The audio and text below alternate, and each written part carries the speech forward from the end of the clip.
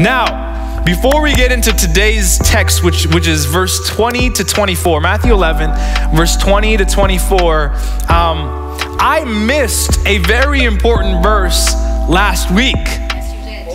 And um, the funniest part was that, that the title of my message was surrounded around that verse.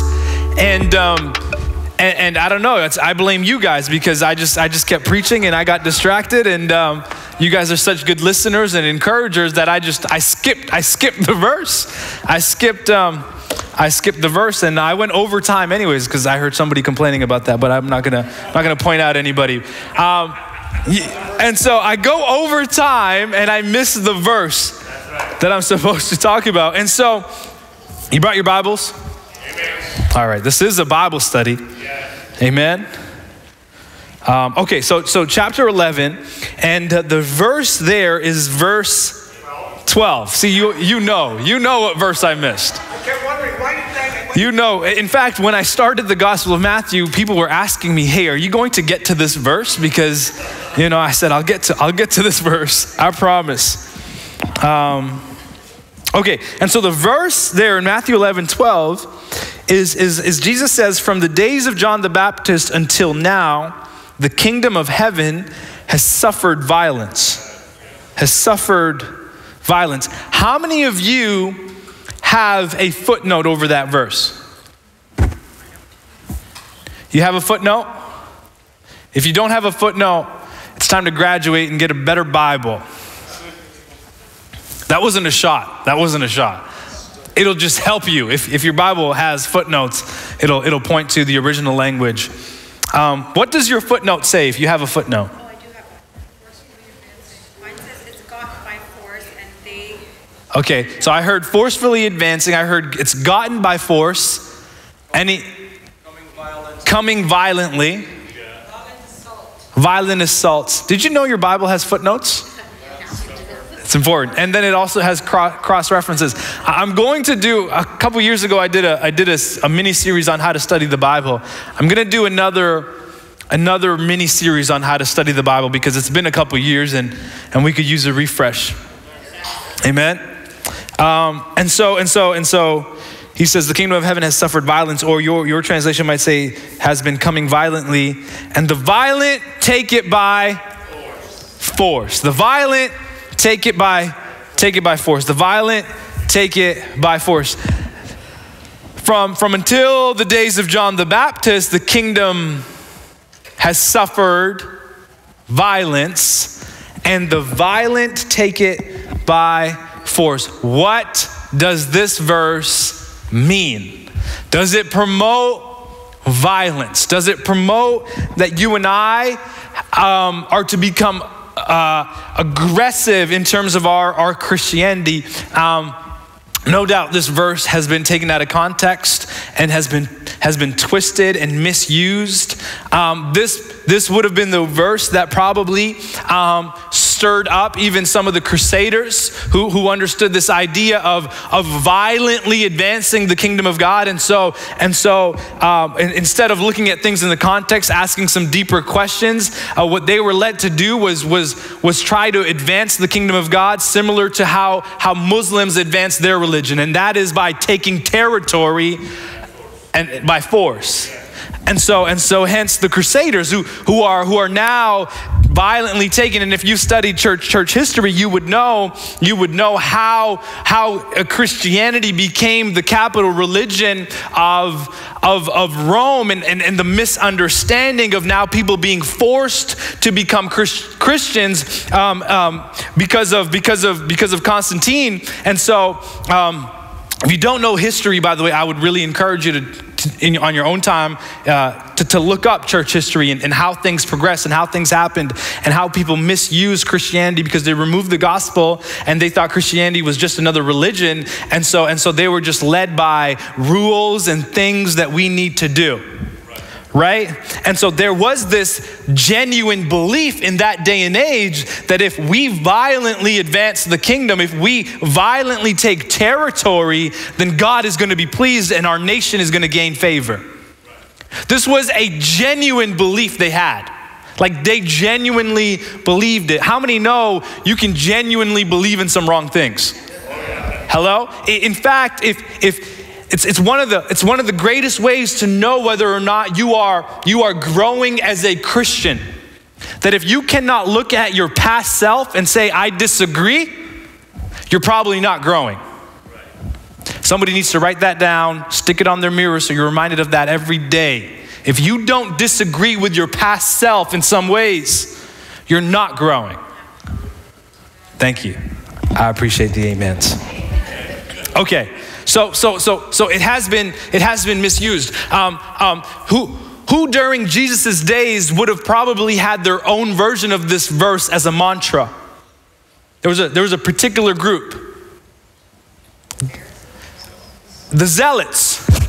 The zealots, right? Um, and, and does anyone remember the, the zealot in the group with, the, with Jesus? Simon. So there was, there was Simon Peter, and then there was Simon the Zealot. And Simon the Zealot belonged to a group who believed this idea of, of, of being militant, that we are going to take over for God through violence through being militant. And so they were trained in the arts and they were trained in, in how to use weapons. And they were, because remember, uh, the understanding, and, and we've gone over this, was that when the Messiah comes, he's going to be a militant warrior. And, and so he's going to need an army.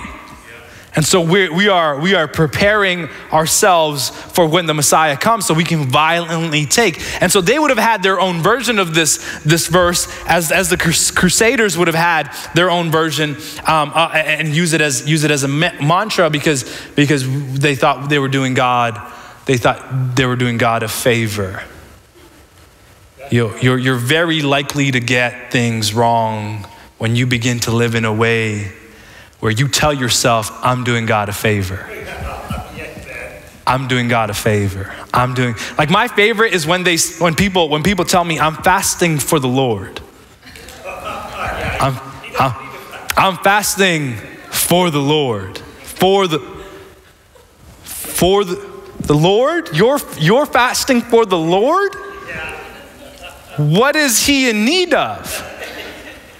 You know what I'm saying? Like I, I was speaking, I was speaking somewhere at a, at a, conference, a young adult conference, and, and the theme of the conference was was was, was faithful, was faithful, and, and, I, and I began to share with, with, with them that that God doesn't benefit from your faithfulness. You do. So you're not fasting for the Lord, you're fasting for yourself. So, so the only person that benefits from you being faithful, you being obedient, is you. It's not God. We're not doing God favors. We didn't we don't get to submit our resume, you know what I mean, to God and say, "Man, look how much I can benefit you." Hello? You know, you know what I'm saying? Like God doesn't call in a meeting and say, "Man, look at this resume that just got submitted. It's crazy. My kingdom is about to blow up." That doesn't happen. That doesn't that doesn't that doesn't happen. But but where were we? Where were we? Um, the, the, the kingdom, the kingdom, the kingdom of heaven suffers suffer violence. Now, now context, context, right? So, so the way I want you, and I'm going to bring this out even in, in, in, in the mini course I do about how to study your Bible. There's two levels to context. The first level to context is immediate context. Someone say immediate. Immediate, immediate context is what is happening in the immediate verses around this verse. Okay? Does that make sense? And so that's immediate context. Then there is broad context. Broad context is, is, is, is, is how does this verse now relate to the rest of this book or the rest of this letter? Uh, uh, letter. So if you were reading a letter in, in you know, from the epistles, you, the broader context would be the context of the letter, right? And, and then there is, there is the much broader context, which is the totality of Scripture. How does this relate to the totality of Scripture? Does it, does it, does it correlate with all of what Scripture says? So there's the immediate, there's the broad, and there's the much broader. Does that make sense? Okay, so what is the immediate context of this verse? Christian persecution. Christian persecution? Who, what spurred, yeah, go ahead, say it. John being in prison. John being in prison is the reason Jesus is saying these words. Because John sends his disciples, his disciples ask Jesus a question, Jesus answers them, they walk away, Jesus turns to the crowd and begins to speak concerning John. That's the immediate context. You understand? Broad context is Jesus has come down from the Sermon on the Mount. He is, eh, he is bringing now the kingdom of God into the lives of people. We see in chapter 8 and chapter 9 how he does that. And, and in chapter 11 and in chapter 12, the broad context is how people respond. How are people, so, so you have all these different responses to the kingdom now. And John's response from prison is, Are you really the one? Are you really the one? And so Jesus begins to now talk to the crowd concerning concerning concerning John. Um, and, and so and so that's the context. So we see the context. We're okay with the context. Right? right? Um, does John does John's life get saved? No. Yes. Well, does, does, does Jesus rescue John from prison? No. Does Jesus stop John's beheading? No. Jesus, Jesus does not. Jesus does not. And so, the advancing of the kingdom, we can come to a conclusion that the advancing of the kingdom does not necessarily have to do with earthly circumstances. Right? It, it doesn't have to do with the lack of persecution. And so, and so sometimes we can think, we can think, man, the reason, the reason we're not seeing a Christian nation is because people aren't violently advancing the kingdom. Come on, somebody. But if you understand the context, we can understand well, that's not necessarily a good interpretation of knowing whether or not the kingdom is advancing because Jesus said persecution is going to come. So immediate context doesn't line up with that. The broader context doesn't line up with that. The rest of the rest of the New Testament epistles don't line up with that because Paul wrote most of his letters from prison. This is how context matters. So, so that's not the case. So then, so then, so then, what, what else? What else could it mean? Now, if you read the original language and some of your translations, the footnote is good because because it gives it gives a closer hint to to the phrase and the wordings of the original language. That rather than the kingdom suffering violence, the kingdom has been coming violently. The kingdom has been coming violently. Another translation might say that the kingdom is advancing with force. It's advancing forcefully. Now, now, it does not say Christianity is advancing forcefully. This is important. It says the kingdom. Now, in order for us to understand the, the, the, the terms advancing forcefully, we have to understand what kingdom means, right? Here's what the kingdom is not the kingdom is not the church right? The kingdom, literally, we've talked about this, the kingdom is the rule and reign of God, right? So if you even look at the makeup of the word kingdom, the king's domain. So, so it has to do with God's domain, God's rule, God's reign. So Jesus comes to bring God's rule and God's reign. Right? So now Jesus is saying God's rule and God's reign advances forcefully. Now, does this mean that, like Peter, we take out our swords and begin cutting ears? Is that the forceful way of the kingdom's advancement? No. We know that because Jesus tells Peter, Peter, put, put your sword away, man. What are you, you're, you're embarrassing me. You know what I mean? Heals the guy's, heals the guy's ear. Now, now to explain, explain this, I'm going to call Pastor Jason up. Everyone, welcome Pastor Jay. All right. He said, he said he'd be willing, he said he'd be willing to help me out. Okay. So the kingdom is, the kingdom is advancing, advancing forcefully. Can you see Pastor Jay? All right, beautiful. Um, here's, here's what you're going to do. Okay?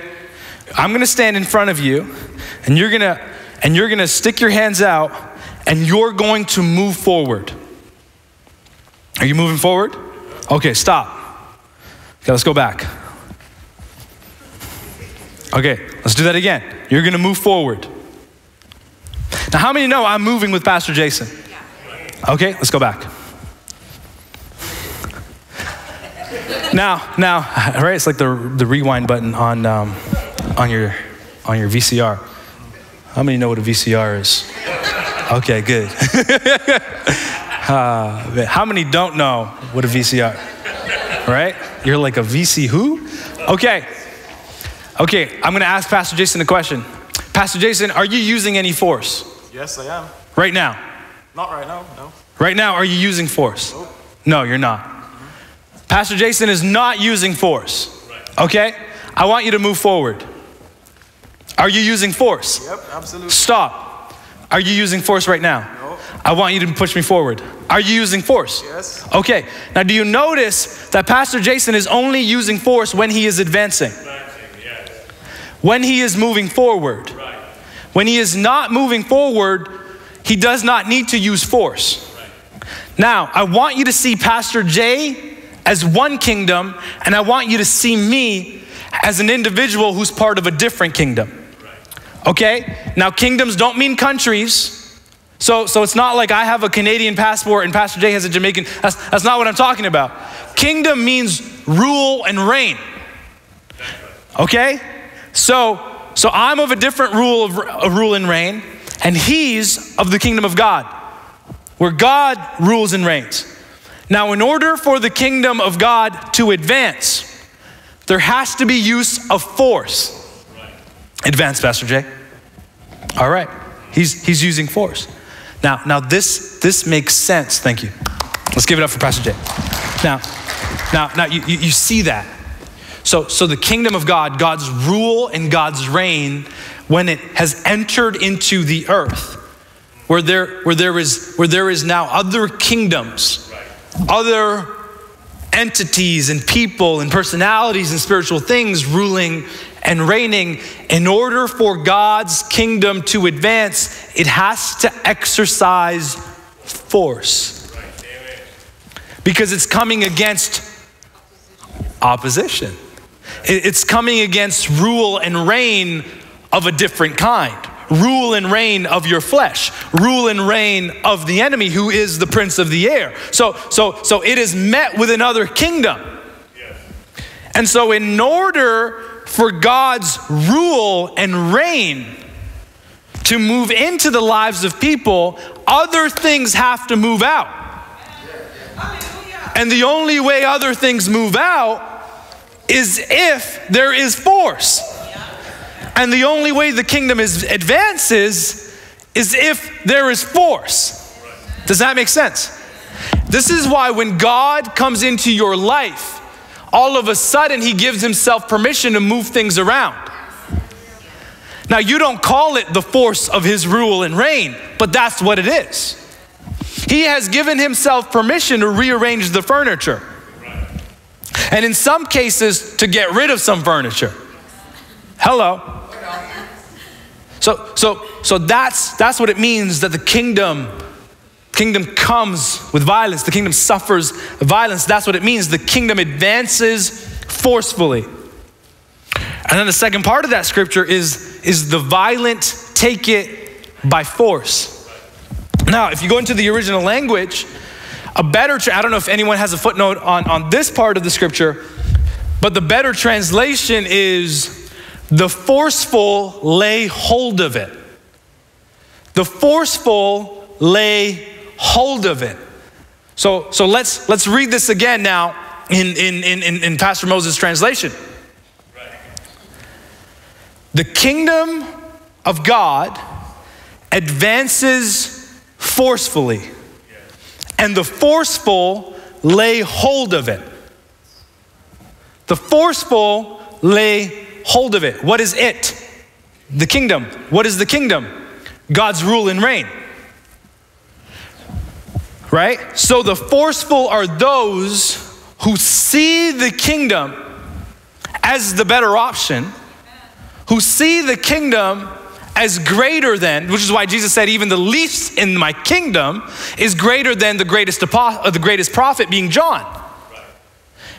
And so, remember, I told you that that has to do with two different eras. It doesn't have to do with comparing John with, with, an, with a disciple. It has to do with the era of the law and prophets and the era of king, the kingdom.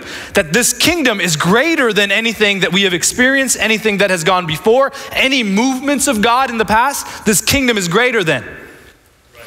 And the forceful lay hold of it, those who can see its worth. Lay hold of it. Lay hold of it, lay hold of it, lay hold of it. Uh, uh, uh, um, didn't, didn't, Jesus give a parable for, for, the kingdom of God? For the kingdom of God is, is like a man who found treasure hidden in a field. And, and, and, and the Bible says, in, in all his joy, he sold all that he had to purchase the land, to purchase the field. So, so, so he is the forceful laying hold of the kingdom. Does that, does that make sense? So, so, so in other words, in other words, you, you see the value of the kingdom. Now, now it does not mean, it does not mean, because now, now we can get into we can get into error, which which is that, which is that in order for us to receive salvation, we are the ones doing it.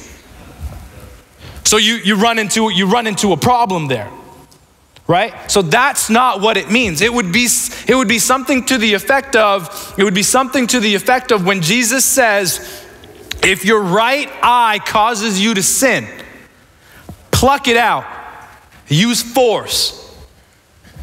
If your right hand causes you to sin, cut it off.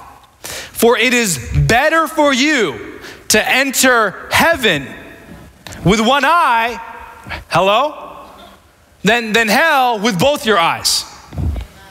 Because you could not see the value of the kingdom. You could not see the benefit of the abundant life that only comes when you let me rule and reign. You chose to keep your eye. You, you chose not to seize it. You chose not to lay hold of the kingdom. Does that make sense?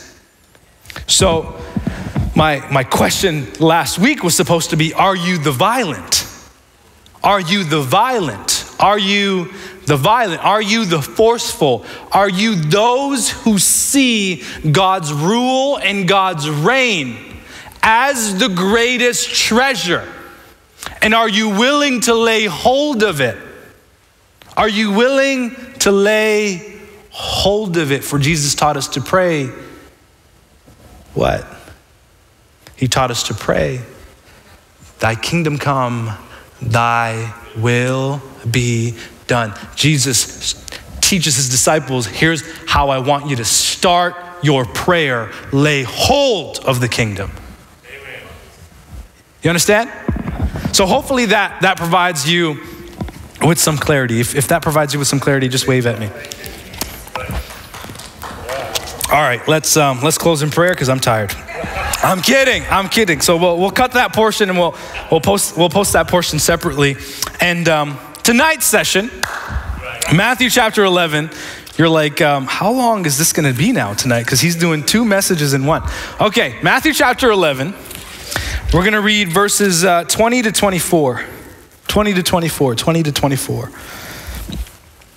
Okay, here's what it says. Then he, being Jesus, began to denounce the cities where most of his mighty works had been done, because they did not repent. Woe to you, Chorazin! Woe to you, Bethsaida! For if the mighty works done in you, had been done in Tyre and Sidon, they would have repented long ago in sackcloth and ashes. But I tell you, it will be more bearable on the day of judgment for Tyre and Sidon than for you. And you, Capernaum, will you be exalted to heaven? You will be brought down to Hades.